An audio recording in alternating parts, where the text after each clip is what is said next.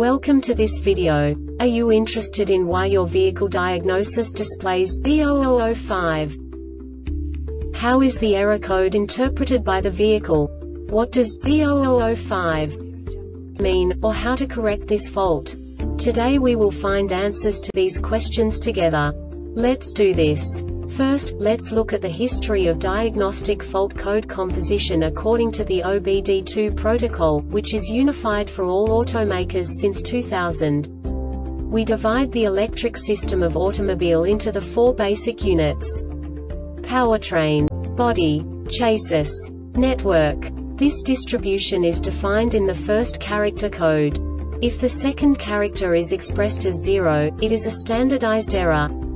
In the case of numbers 1, 2, 3 it is a more prestigious expression of the car-specific error. The third character specifies a subset of errors. The distribution shown is valid only for the standardized DTC code. Only the last two characters define the specific fault of the group. Let's not forget that such a division is valid only if the other character code is expressed by the number 0. Our website airbagreset.sk produces useful videos for you. You do not have to go through the OBD2 protocol anymore to know how to troubleshoot any car breakdown. You will find all the diagnostic codes that can be diagnosed in a Hummer vehicles. Also many other useful things. The following demonstration will help you look into the world of software for car control units. You unbelievably can move the video a bit further. The error code is split into two bytes consisting of 16 bits. One bit is the basic unit that each computer works with. The bit has two logical states.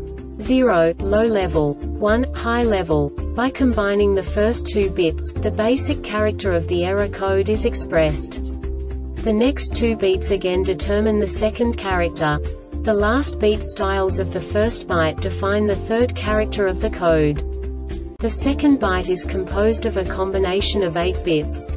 The first 4 bits determine the fourth character of the code. And the combination of the last 4 bits defines the fifth character. A single byte conceals 256 possible combinations. We now know in what way the diagnostic tool translates the received information into a more comprehensible format. The number itself does not make sense to us if we cannot assign information about it to what it actually expresses. So, what does the diagnostic trouble code B0005 interpret specifically Hummer car manufacturers? The basic definition is in park switch signal circuit. And now this is a short description of this DTC code.